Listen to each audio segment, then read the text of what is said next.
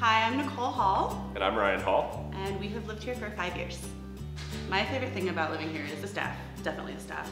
They go so far out of their way, they're friendly. We've had it before where the office was closed, but they snuck up and unlocked it so we could get a package for a birthday. Mm-hmm. Yes. Anything we've ever had go wrong, they're always very helpful and prompt. Our poor neighbor happens to be one of the head maintenance man here, and he's gotten a couple knocks on his door in the evening when we've had issues, and they never hesitate to help. Yeah, they're always happy to help. They make it perfect. Mm-hmm. I would say my favorite thing about living here is probably the property itself.